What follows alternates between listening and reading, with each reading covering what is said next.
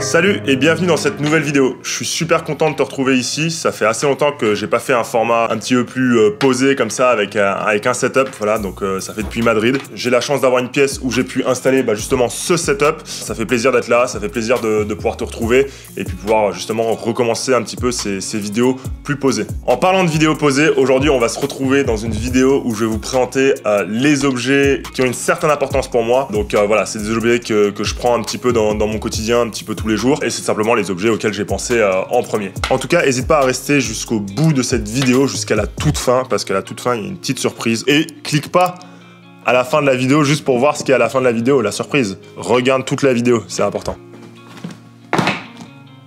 Donc cette valise, elle a quand même une certaine valeur, on va dire, émotionnelle pour moi. C'est la valise que euh, on a reçue après les JO pour la médaille. Merci d'ailleurs euh, à Nicolas Batum. Hein. Il nous a offert cette, euh, cette belle valise Louis Vuitton d'un bleu que, qui, est, qui, est, vraiment juste euh, magnifique. C'est vrai que quand on part en déplacement, souvent je la prends avec moi. Très pratique, très agréable.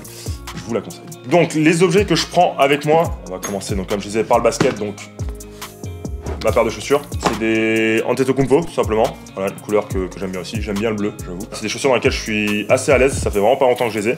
Je vais pas dire que c'est ma paire de chaussures préférée, sincèrement. Je dirais que mes préférées aujourd'hui seraient des Kyrie. Celles-là, elles sont bien, elles sont assez légères, elles sont assez agréables. C'est des chaussures qui sont plus ou moins basses. J'avais pas l'habitude de jouer en basse euh, par le passé, mais maintenant, c'est vrai que je suis passé aux basses. J'avais toujours cette image de ouais, t'as des chaussures basses, tu risques de te faire des entorses. Et en plus de ça, la première fois où j'ai mis des chaussures basses, je me suis fait une entorse. Mais euh, j'ai repris quelques années après, en fait, avec des chaussures basses. Et c'est vrai que j'ai commencé à aimer et je me suis habitué. Je joue beaucoup avec des chaussures basses. J'alterne un petit peu, basse et mid. Pas trop de hautes parce que ça se fait plus trop, tout simplement. Il euh, y a de moins en moins des hautes, j'ai l'impression. Mais ouais, basse et, et mid, euh, j'aime bien. Ensuite, important, c'est les écouteurs. Et plus particulièrement, je dirais donc euh, les AirPods. C'est des AirPods Pro qui sont juste une tuerie, sincèrement. Le son est bon, mais c'est surtout en fait la réduction du bruit là extérieur qui est vraiment incroyable. Aujourd'hui, j'utilise presque plus que mes AirPods. Le deuxième objet qui, va de pair avec ça, c'était mon casque.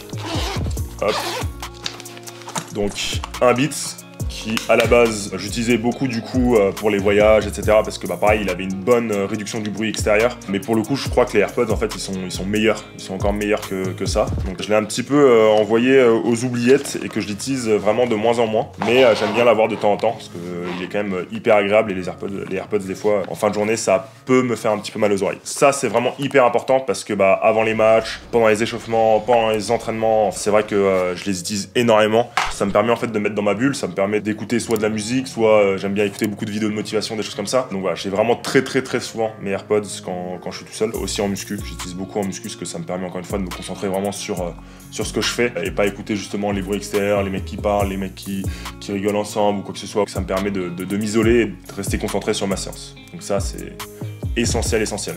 Bon, malheureusement, les AirPods, ils fonctionnent pas encore tout seuls. Donc, euh, autre euh, élément euh, important, c'est forcément le téléphone. Extrêmement, extrêmement important. Je dirais même capital de nos jours. Ça fait tout aujourd'hui, un téléphone. C'est un iPhone 13 Pro Max, si je dis pas de bêtises. Ça me sert forcément beaucoup bah, par rapport au basket, parce qu'avec l'équipe, on communique énormément et exclusivement, je dirais, par, par WhatsApp. C'est-à-dire que tous les horaires d'entraînement, les programmes, tout est centralisé sur WhatsApp. Je l'utilise aussi pour la musique, avec YouTube Music et YouTube. J'ai un abonnement YouTube pour pouvoir écouter les vidéos de motivation en arrière-plan. Et voilà, et puis après bah, pour les photos, pour les choses comme ça. Et puis les réseaux sociaux, forcément, pour pouvoir aussi communiquer avec toi, puis répondre à tes commentaires. D'ailleurs, n'hésite pas à mettre un petit commentaire dans la vidéo. J'essaie de répondre le plus rapidement possible à chaque fois. Donc, euh, donc voilà, téléphone, indispensable. Je suis passionné de photos, de vidéos, etc. J'adore.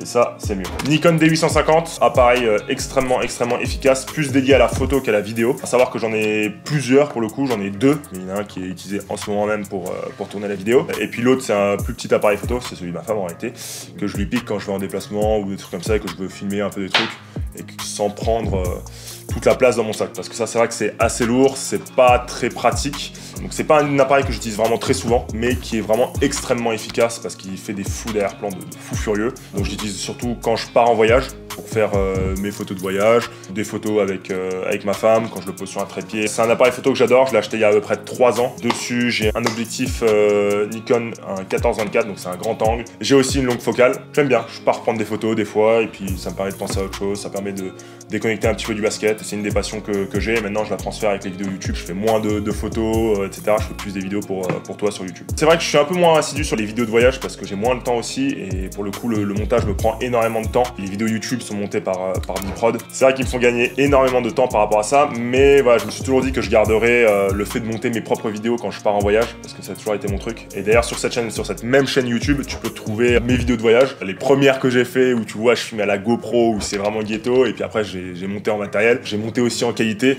sans dire que mes vidéos, c'est du Sam Colder ou quoi que ce soit. Je suis plutôt content de ce que je fais, et c'est un peu mon, mon petit truc, et, voilà, j'aime bien. Suite logique avec euh, l'appareil photo, c'est forcément l'ordinateur. Voilà, donc un MacBook Pro 15 euh, pouces, j'ai 16 Go de RAM dessus, donc euh, voilà, il envoie un petit peu et il est vraiment bien. Il me fallait une machine de guerre et, euh, et cet ordi là c'est vraiment pas mal. Je veux pouvoir euh, monter quand je suis en quand je suis en voyage, pouvoir éditer mes vidéos, avoir mes photos, avoir la place de les mettre aussi sur l'ordi même si j'ai les disques durs. Puis après tout ça ça me sert aussi à regarder des films. Aller sur internet quand je suis en déplacement, il me sert vraiment à, beaucoup de choses. C'est un ordi que j'ai depuis deux ans si je dis pas de bêtises. C'est vrai que depuis que je suis passé à Mac ça fait maintenant une dizaine d'années. Hein. Impossible de, de, revenir sur autre chose. C'est un peu comme l'iPhone. Une fois qu'on passe sur un iPhone c'est très compliqué de revenir à autre chose. Must have, must have. Avec cet ordi aussi j'ai un projet là en ce moment, euh, enfin ça fait depuis maintenant euh, un an et demi à peu près. On lance avec un ami en fait une, une marque de vêtements. Donc c'est vrai que Stordy me sert aussi à travailler sur cette marque de vêtements. C'est important pour gérer justement bah, tous les fournisseurs, toutes les factures, tout le site internet, etc. Toutes ces choses-là. Donc le prochain produit évidemment c'est euh, un petit t-shirt avec la marque. Voilà, donc ça c'est un petit prototype entre guillemets. C'est pas encore vraiment forcément les t-shirts qu'on va sortir. C'est une marque qui s'appelle R.Ose, donc rose. Et l'idée tout simplement en fait avec cette marque là, c'est qu'on va utiliser des, des, pétales de rose qui seront directement posés sur les, sur les t-shirts. C'est un projet qui est, qui est hyper sympa. J'aime beaucoup, j'ai vraiment hâte qu'on euh, puisse sortir nos, premiers modèles. Ça fait plus d'un an, euh, plus d'un an et demi même qu'on bosse dessus. C'est des choses que vous allez pouvoir suivre euh, dans mes stories sur Instagram. C'est un projet qui avance bien. Voilà. Ensuite, extrêmement important, les clés de voiture. Je pense que tu sais à quel point je suis, passionné par les voitures. Enfin, en tout cas, si tu me suis sur Instagram, tu le sais. Et les voitures, vraiment, c'est vrai que c'est une passion que j'ai qui ne s'explique pas pour le coup. J'ai toujours aimé les voitures. Je me suis toujours dit que j'aurais un garage avec des dizaines et des dizaines de voitures. J'en suis super content, super fier. J'adore les voitures, j'adore les regarder, j'adore les conduire, j'adore euh, tout euh, ce qu'il y a à propos euh, qui touche de près ou de loin à une voiture. Ça va de la mécanique à la course automobile. J'aime tout. Et c'est vrai que les voitures, pour le coup, euh, c'est aussi un peu un moyen de s'évader. C'est-à-dire tu pars, tu prends ta voiture, tu vas faire un tour, tu penses à rien d'autre en fait. T'es focus sur la route, t'as le bruit du moteur. Quand c'est des voitures qui sont un peu sympas, forcément ça, aide aussi. Là, il y a que deux clés de voiture. Il y a une de mes voitures qui actuellement est au garage parce que on est en train de refaire un petit peu le moteur. Il est un peu vieux. Mustang de 69, donc euh, voilà, il avait besoin d'un petit rajeunissement, on va dire. Et elle me manque beaucoup, beaucoup en ce moment, parce que c'est une voiture que j'aime beaucoup rouler. C'est peut-être celle que j'aime le plus rouler juste pour euh, se détendre. Une voiture qui, qui, a une gueule incroyable, qui est pas ultra performante, hein, euh, la bagnole elle a 50 ans, mais qui est, qui est géniale à juste conduire sur des petites routes comme ça, surtout là ici dans la région. Euh, à cela s'ajoute aussi du coup euh, normalement les clés du van qui va bientôt arriver, je l'espère. Vous allez pouvoir voir des images aussi d'ailleurs de, de, ce, de, ce, fameux van qui est en cours de restauration actuellement, un combi de 74 Volkswagen. Voilà, c'est important en tout cas je pense de pouvoir respirer un petit peu, pouvoir penser à autre chose et faire des choses qu'on aime et puis se concentrer un petit peu sur autre chose et ça permet aussi de quand on revient dans le basket d'être plus focus. Ça évite de trop cogiter des fois quand on a un mauvais match ou des fois même quand on a un bon match de trop penser, penser, penser, penser justement à qu'est-ce que je vais faire, qu'est-ce que comment ça va se passer demain, est-ce que j'ai bien fait, est-ce que voilà, ça permet de faire un peu table rase et puis de repartir de, l'avant après quand, on repart dans le truc. Le van, ça va être génial. On va surtout l'utiliser pendant les vacances, mais en soi, je pense que même des fois pendant, pendant les jours off, euh, le prendre, parce que du coup, c'est un, un, campeur, on peut dormir dedans, etc. Ça, ça va être un bon moyen de s'évader, je pense. Ensuite, la lecture en déplacement notamment. Donc là en plus j'ai choisi mon livre préféré, David Goggins, Can't Hurt Me. Je crois qu'il a été sorti en français, là pour le coup. À chaque fois, je disais qu'il n'était pas sorti en français, mais là, ça y est, je crois qu'ils l'ont sorti en français. Euh, pour moi, ça, c'est vraiment un banger. à chaque fois qu'on me demande, en tout cas, quel est mon livre préféré, je parle de celui-là. C'est l'histoire tout simplement d'un mec qui a une enfance très difficile et qui était vraiment surpoids, qui à un moment donné a, décidé qu'il allait changer sa vie, qui est passé en fait du, tout au tout, c'est-à-dire de euh, rester dans la télé à bouffer euh, sa glace et ses paquets de chips, à aller courir tous les jours et à essayer de devenir un Navy Il est vraiment incroyable ce mec. Vous pouvez le suivre aussi sur, sur Instagram. Il met toujours des, des vidéo justement il est en train de courir. Il a participé à Badwater, c'est une course dans le désert, euh, dans le Nevada. Il fait genre 40 degrés. Elle fait 135 miles de long. Ça fait 217 km et tu cours ça genre tout d'affilée.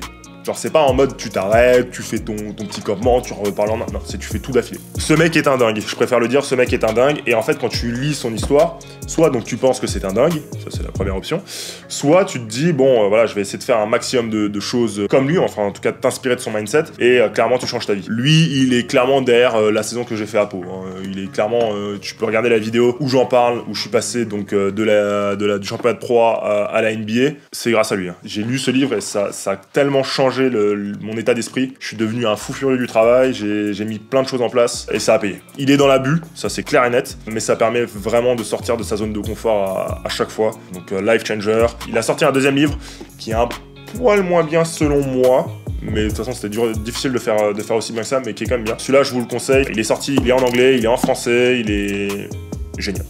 Et le dernier objet, c'est tout simplement un objet qui se trouve déjà devant tes yeux c'est tout simplement mon trophée champion Euroleague 2023, donc avec, euh, avec le Real. C'est mon deuxième trophée majeur, parce qu'il y a forcément les JO avant ça, la, médaille d'argent aux JO, que j'ai pas avec moi malheureusement. C'est deux trophées vraiment euh, importants que j'ai gagnés dans ma carrière. Gagné, euh, donc c'est écrit dessus, le 21 mai 2023 à Kaunas, donc en Lituanie. C'est vraiment quelque chose, hein. c'est vraiment le plus gros trophée qu'on peut gagner ici en Europe. Tout le monde se l'arrache, clairement. C'est difficile de le gagner, donc l'objectif cette année, forcément, c'est encore de le gagner. Et, voilà, c'était la conclusion, on va dire, d'une grosse saison. Une grosse saison pour l'équipe, une saison en deux temps pour moi, voilà, j'en ai déjà parlé dans la, dans la vidéo précédente. C'était vraiment quelque chose de vivre ça euh, pour ma première saison en Euroleague et puis euh, vivre cette victoire, vivre euh, aussi cette saison qui, avait, qui était pleine de, rebondissements, de haut et de bas. C'est aussi ce trophée que, je regarde un petit peu tous les jours et qui crée aussi cette envie d'en remporter un nouveau. La dernière fois que j'ai gagné ce trophée, j'étais pas en tenue sur le terrain, ça, ça fait mal là. Donc voilà, l'objectif c'est clairement d'en avoir un deuxième que je mettrai juste à côté là. Jusqu'au bout, on va dire, participer à cette, euh, cette victoire en Euroleague parce que ça reste quand même la petite frustration que j'ai quand je regarde ce trophée. J'étais pas en tenue, j'ai pas joué sur ce dernier match, enfin sur ces deux derniers matchs, mais il reste quand même quelque chose d'énorme. L'objectif c'est d'en avoir deux.